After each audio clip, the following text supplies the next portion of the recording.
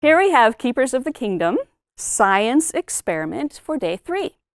We are going to be teaching the kids again about the physical realm and Isaac Newton's second law, which states that force equals mass times acceleration.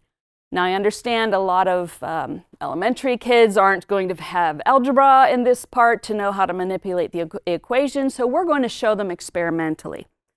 So the first thing that we're going to do is we're going to put down a piece of painter's tape on the floor, okay?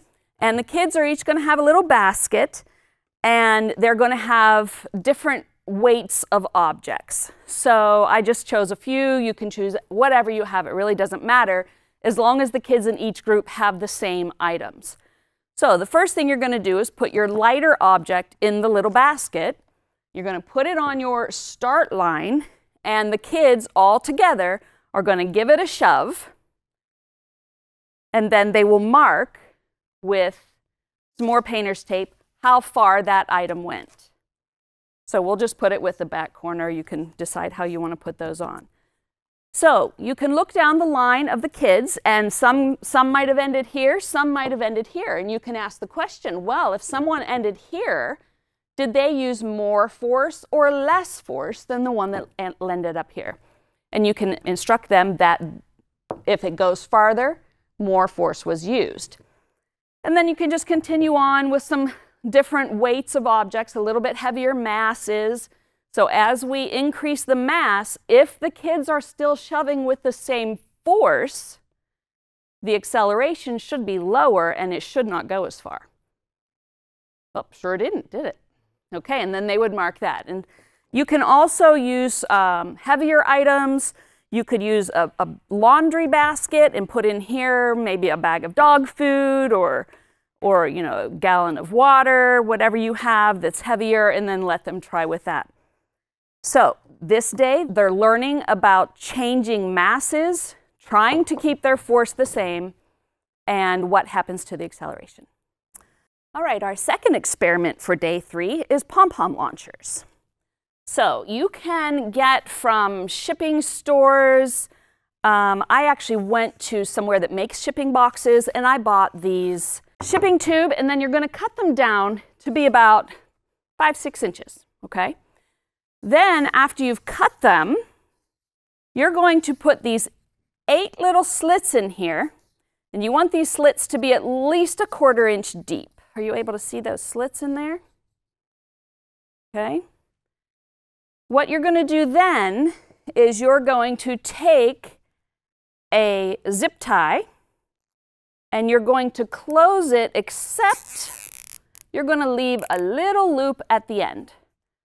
Okay, and you can tighten it up after you're finished.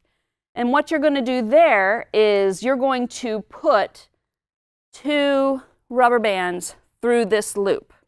Now I'm going to show you a little trick. On mine, I included one of these little hanging Roman shade rings. That's what they're called, Roman shade rings. These ones were 13 millimeters. Um, I got them, they're not expensive at all, but I used these because I thought that the rough edges of the zip tie might damage the rubber bands, and then the rubber bands are going to break, and then the kid's pom-pom shooter is going to break, and they'll be sad. I'm going to put that down through here and I'm going to put the rubber bands through these slots. The two closest slots would be for one rubber band, and then just pull it tight. And then the other piece of that one on the other side, and then the other rubber band goes that way, so that it's going to look like this at the end. Okay? So, once that's done, I pull it a little bit to get these seated really well into those little notches and then I chose to use some colored masking tape to put a ring around here so the rubber bands wouldn't be coming out because I didn't know. I pre-prepped all of these ahead of time and I didn't know how hard it would be for the kids to get the rubber bands back on.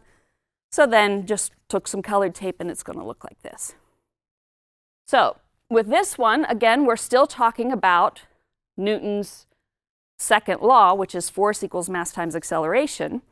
So you start out just having them pull down just a little bit, put their big pom-pom right on the top here, have them pull down just a little bit and see how high it goes. And then you have them do a little bit further and see if it goes any further up. Woo, sure did, didn't it? And then you just let them go. What we did is we just let the kids have fun, and there they had it. That was day three of science.